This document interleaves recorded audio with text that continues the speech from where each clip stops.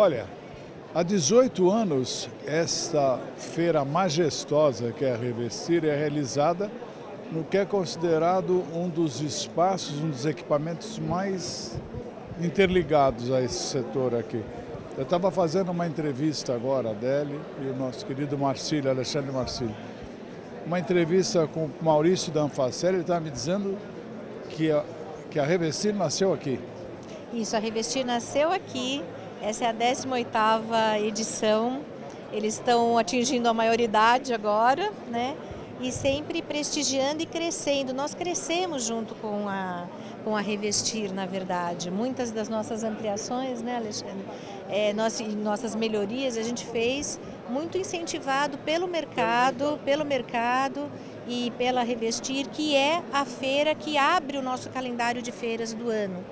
Então, um constante crescimento, esse ano não podia ser diferente, com 18 anos de, de, de idade, eles se superam ano a ano e a gente cresce junto com eles.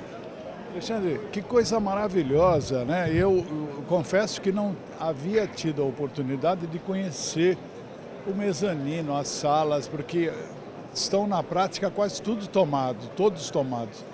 Que equipamento maravilhoso, majestoso que é o Transamérica. É, Cacá, o, o, bacana disso tudo é que, se, por exemplo, se vê essa feira, ela é toda interligada. Né? O mezanino idem, por mais que ele esteja num outro piso, ele é interligado através, por dentro de cada um dos halls ou por elevadores externos, mas toda essa relação, toda essa integração existe. E além disso, esse boulevard, que aí sim interliga tudo, né? Interliga os sete halls, interliga mezanino e o boulevard acaba sendo esse ponto de encontro de todo mundo. não sei se você teve oportunidade de ver ontem no fim do dia, aquilo ali lotado, o pessoal bebendo um negócio, conversando, puseram música. Isso tudo dá ainda mais vida né, para o evento.